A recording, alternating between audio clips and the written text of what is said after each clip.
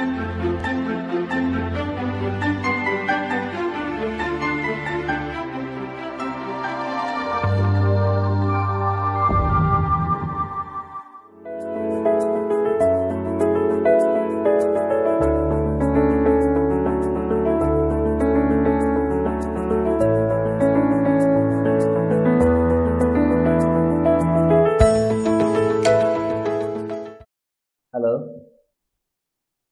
Welcome to the audio video lecture on approaches and practices of inclusive education. Students, you know what is meant by inclusive education. However, we look at a glance what it is meant. Inclusive education, it describes the process by which a school attempts to respond to all pupils as individuals by reconsidering and restructuring its curricular organization and provision and allocating resources to enhance equality of opportunity. It means through inclusive process, the school builds its capacity to accept all pupils from the local community who wish to attend and in so doing reduces the need of exclude people. So, you know inclusive education accepts all pupils from all sectors of the community whether they are challenged or they are normal or they are marginalized it hardly matters it makes room for all in a school setup where all will get their uh, assistance according to the need and they will grow simultaneously at a time with all. So, this is called inclusive education. Now, let us see what are the approaches of inclusive education. More or less, three important approaches are noticed. Number one, whole school approach. Number two, capacity building approach. Number three, collaborative approach. Now, what is whole school approach? Whole school approach means it is an approach to developing schools in which all children flourish through engaging. That means all children will grow simultaneously along with others. So, whole school approach it creates learning spaces based on the needs of children learning together. That means uh, every children has, he, has his or her own space of learning and at the simultaneously the scope of learning with others. Uh, so, assistance and materials are provided according to their specific needs of learning. Next is whole school approach helps children learn the tools and skills of genuine democracy. Hey, what is democracy? Genuine democracy? That means they will learn how to share power and decision making in daily life of their classroom. Number three, it creates a sense of belonging, care and community. It means uh, the inclusive school, inclusive education, inclusive institution, it creates a kind of care needed for the children who are coming together across culture, ethnicity, language, ability, gender and age. Next, it create, includes all students in learning well together. So, it, it, is, it, is, it is very simple uh, to understand because the concept of learning together is of prior importance or of top importance in whole school approach. Next, whole school approach supports learning through efforts of peers, colleagues and specialists in the classroom. So, here the support personnel, it means the support personnel in a inclusive institution collaborate with the normal teachers uh, so that the activities and uh, performance of the academicians and students can be designed in a nice fashion. It develops genuine partnership between educators, parents and community. So, the collaboration between the parents, the institution and the community is of topmost priority in inclusive education. It engages children through authentic, multi-level, differentiated instruction.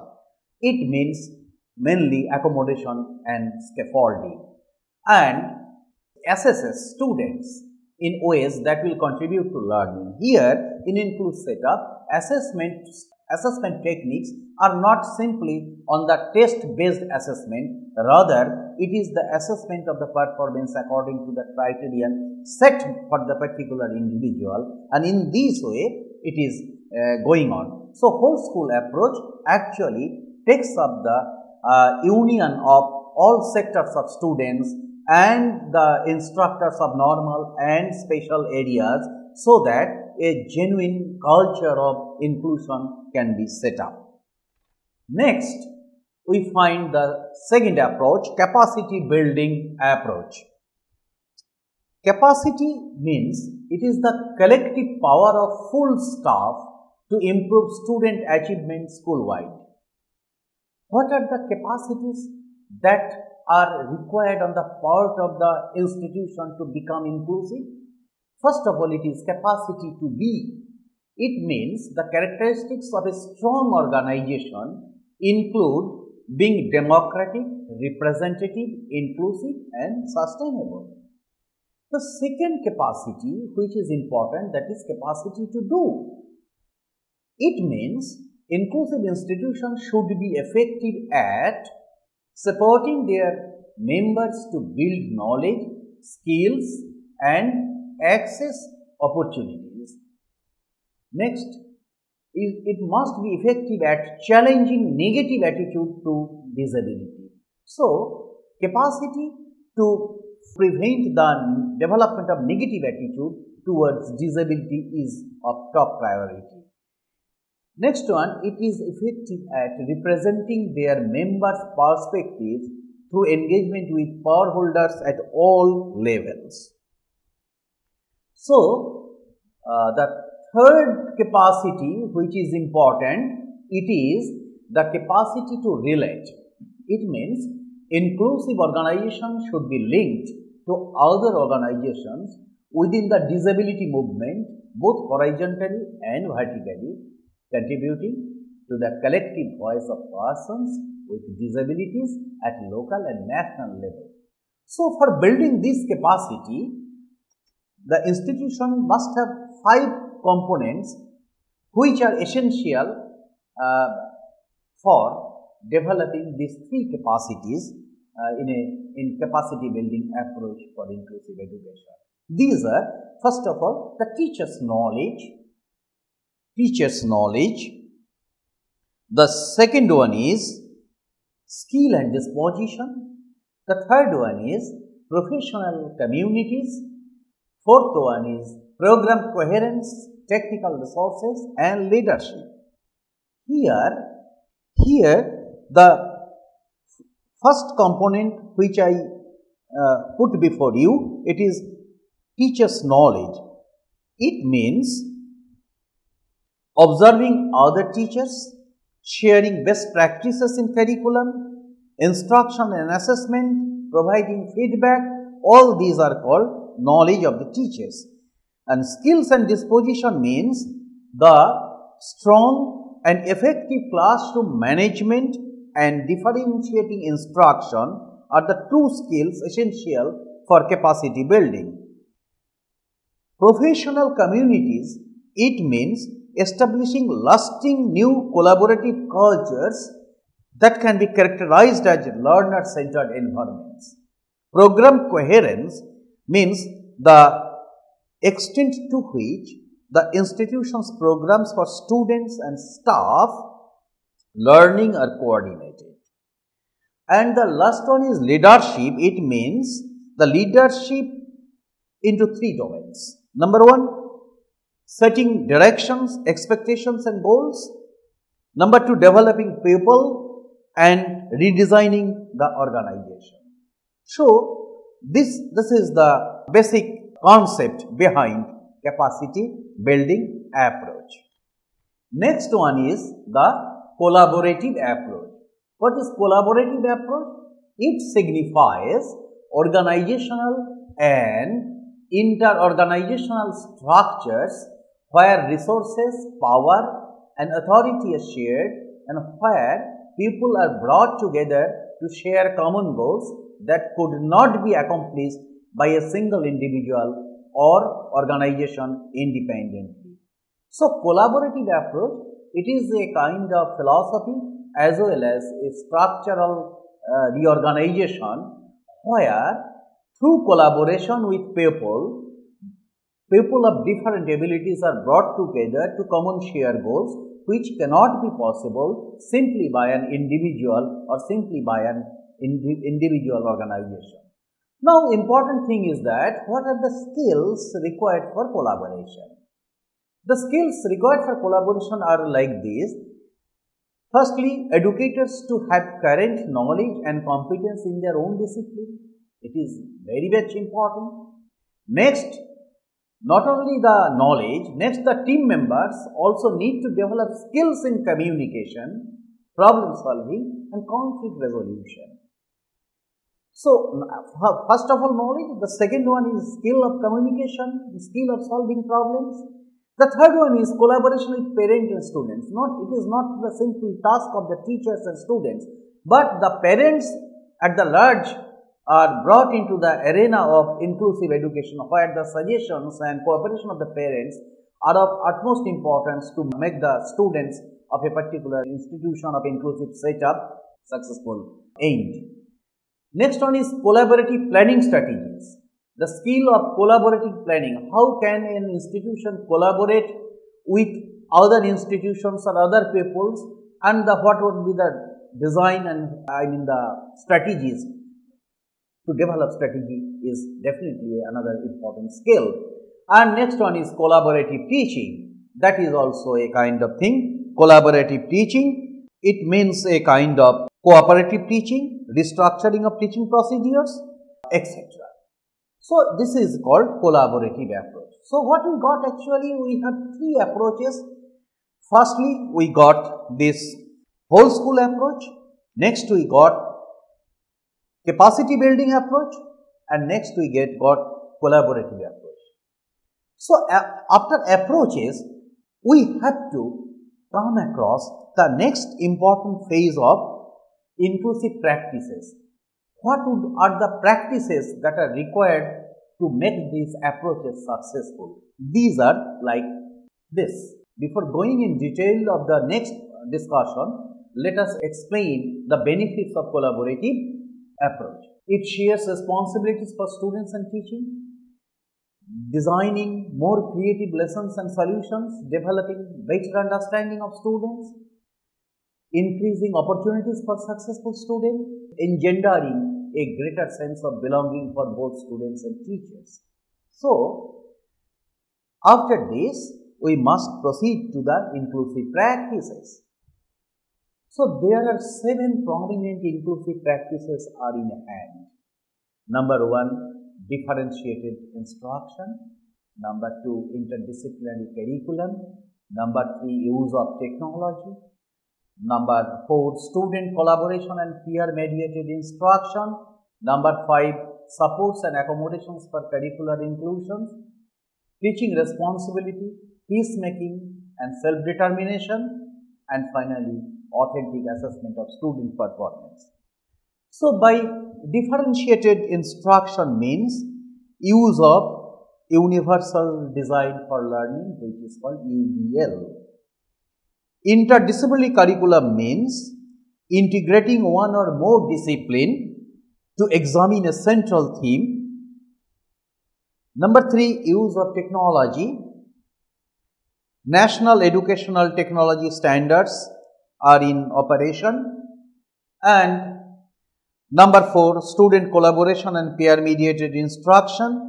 Here, the students are in charge of teaching their peers an assessment system, authentic assessment means the assessment not the, in the traditional sense, but the techniques used for helping a particular student to know where he is standing through different modes of assessment. So, this is in all about the approaches and practices of inclusive education. So, in a very quick look, let us sum up. So, here we find out the firstly the definition of what is meant by inclusive education. Secondly, we have come across three approaches. One is called whole school approach. The second one is called capacity building approach. The third one is called collaborative approach.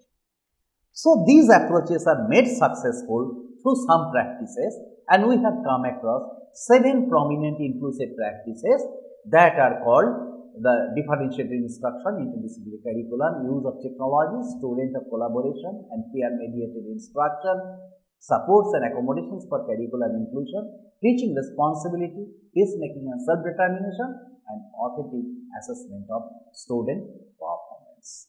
This is in all a very short discussion on practices and uh, approaches of inclusive education. Amar Jyoti, which means eternal flame. The journey started from under a tree with 30 students, 15 with disabilities and 15 without. Today, we have over 510 students walking hand in hand with each other and spreading smiles and happiness. The sensitization that they receive at an early age starting from class nursery, makes learning a wonderful experience for our inclusive group of students who can be seen dancing, playing, and eating together. At the heart of Amarjyoti's unique and refreshing way of integration is its holistic approach. Hello Dipanshu, how are you? I'm fine, thank you. And what about you? I'm also fine. Come, let's have a cup of tea or coffee. Oh, wonderful. Come, let's go to the cafe. Okay. Our students have not only been receiving national honors but have won laurels for our organization through these years.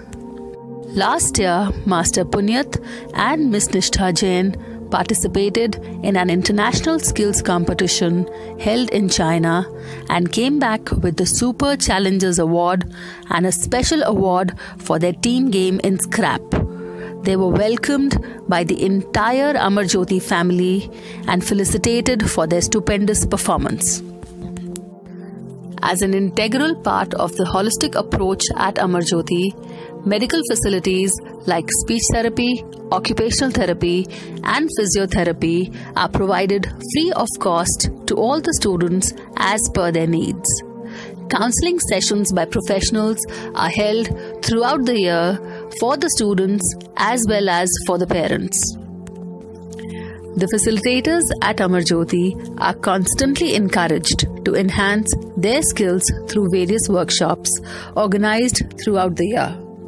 Ms. Gitanjali Sarangam visited the school this year and conducted various sessions with the teachers to incorporate art therapy in regular classrooms.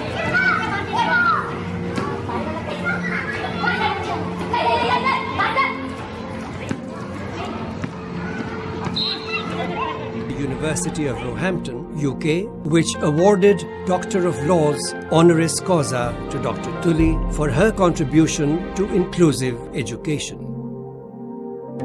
Dr. Uma Tuli was the first non bureaucrat to be appointed as Chief Commissioner for Persons with Disabilities and to introduce several innovative schemes like mobile courts, access audit, distribution of disability certificates, etc.